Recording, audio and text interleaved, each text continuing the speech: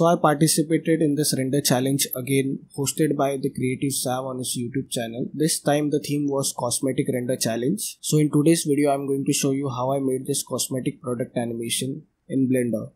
They can't see me like Houdini, Lamborghini. It go. I go. Like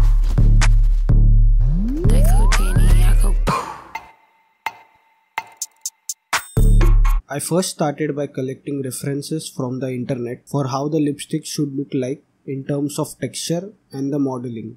Simultaneously, I was also looking for ideas for the animation. As always, I collect all my references into my PureRef file and the ideas I write them down in a Word file. You can download PureRef from this website, link in the description.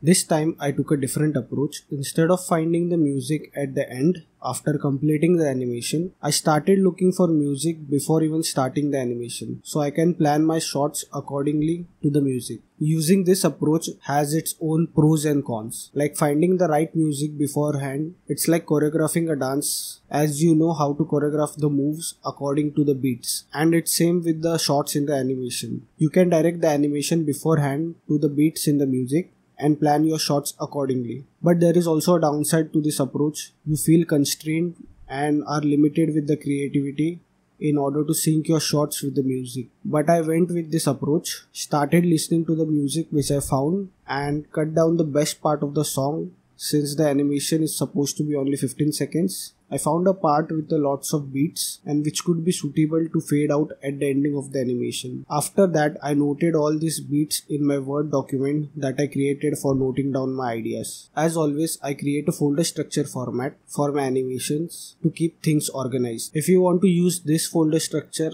I have already made a video about this on my channel. You can check it out by clicking this I button or by clicking the link in the description as always I create a separate dot blend file for my 3D model. The 3D model provided was okay so I had to texture it to make it look better. So according to the references I collected I started texturing the 3D model but one thing was missing that was a brand name and I didn't want to use any existing brands so I created a pseudo brand name which is Moon Mist. Now with the brand name I also needed a logo so I went into Photoshop and created the simple logo with Times New Roman as the font and duplicating the M which is the initial of the brand name and then adding a circle around it. In Blender I added a text and a circle and made this logo in 3D. I changed the lipstick's texture so you can see the node setup over here and I also added engraved logo on the lipstick and the cap by using a boolean modifier. And as for the texture of the body of the lipstick you can see the node setup. It has bumps and the noise texture. It's not a complicated node setup. I wanted to keep it simple. This time i did not create a storyboard because i had it all visualized in my head. So for the short one as always with most of my animations i use this cinematic light reveal animation which i already have a tutorial on. You can watch that up over here by clicking on the i button or clicking on the link in the description.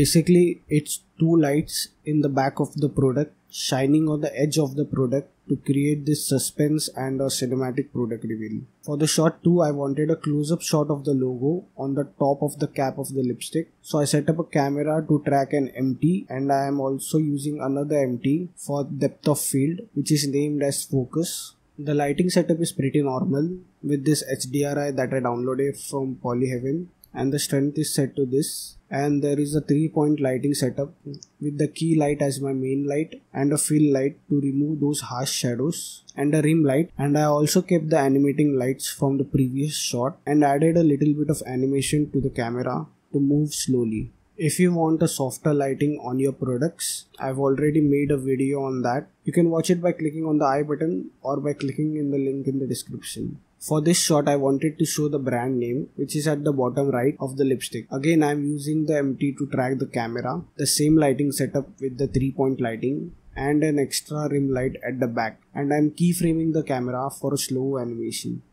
In this shot I have made a grid of the lipsticks. You can use an array modifier but in order to do that I would have to join the mesh into a single object. So instead what I did was created an instance of the collection and then duplicated the instance. This way you will save up a lot on memory as it is just an instance and not an actual duplicate of the collection and then I arranged it in a grid form and after that I added a camera animation moving left to right and then the center lipstick goes up in the air which is controlled by an empty. This will be used to transition to our next shot. This is one of my favorite shots that I worked on in this animation. I don't know much about cloth simulations, but I followed this tutorial by Lewis Animation and that helped me a lot for this shot. Hello there. Link in the description for the tutorial. So to begin this shot, the lipstick pops up in the frame from the bottom, so connecting it from the previous shot and after that the cap of the lipstick pops up and this is a trick that I found out recently which has been here this whole time which is using a mask modifier to mask the object. To do that add a mask modifier from the modifier tab and then go into weight paint mode and then add a weight paint to your object. And when you slide your mask slider you can see the mask working in real time now. I keyframe this for the animation. Once the cap is about to disappear the cloth appears from the bottom. As you can see the cloth is being controlled by two empties by using a hook modifier and with the cloth simulation enabled. These hooks give you control to move the cloth along the path you want. This curve here is only to visualize the path I want to animate the cloth along and it has nothing to do with the animation or simulation. So then I manually animated these hooks along the path and after lots of trial and error and baking the simulation over and over again I finally had the simulation I wanted to make the lipstick disappear. I am using an instance of the collection since you can't apply viewport and render disabling option to the whole collection. You would have to apply to every object. So instead I am using an instance which also copies all the animation from the collection. Just disable the collection from the view layer so only the instance is visible. After that I find the frame where the cloth is covering the lipstick and then disable the lipstick in one frame from the render and viewport. So it looks like the lipstick is vanishing behind the cloth. And when the cloth moves over, here I am using the text silky smooth which I converted into an object to apply the mask modifier. And then I am animating the mask according to the position of the cloth so that it reveals the text. For this shot, I had to show that the lipstick is waterproof. At first, I was going to use a particle system to display water droplets all over the lipstick, but then I found this tutorial, link is in the description, about using the shader editor to create a shader which could be even animated to show water drop effect on a surface. I used the same shader for this effect. The water drops were not visible from far away so I decided to move the camera a little bit closer to the lipstick and then animate it to go back and then reveal this text which says waterproof. Time was running out for the deadline and there was a little time remaining in the animation too. I had already used like 10 seconds out of the 15 seconds for the animation so I cramped up all the shots in the remaining seconds left for this animation. I wanted to display different colors for this shot. What I am doing over here is duplicating the lipstick and changing the color of the lipstick.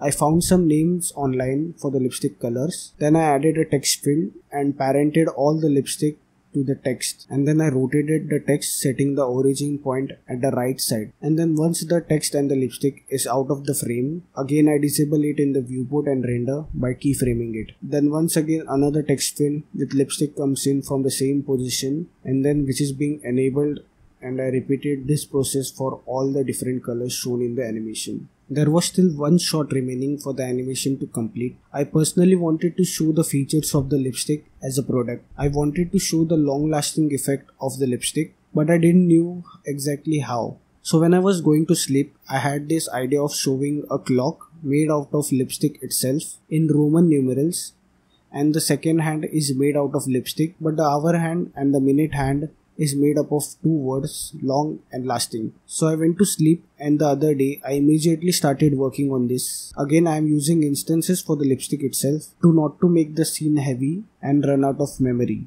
After I arranged all the lipstick in Roman numerals along a circle and added a second hand and after that I added two texts long and lasting and made them the minute hand and the hour hand. After that I animated those hands to move around the clock and then stop with the word long at the left side and lasting on the right side and the second hand at the top which shows you the long lasting effect of the lipstick and then I wanted to end with the logo at the end of the animation. So what I did was keyframe the camera to zoom into the logo and that's where the animation would stop. This time instead of rendering the entire shot, I first render the viewport animation, which you can do by simply going to the view and then viewport render animation. Make sure in the file format it is ffmpeg video and it would save to the directory you have mentioned. This acts like a preview which helps you a lot to make some decisions. This way you can see the animation speed in real time, if it is up to the pace and is it syncing with the music perfectly or not. I would personally suggest you to preview your shots before finally rendering them out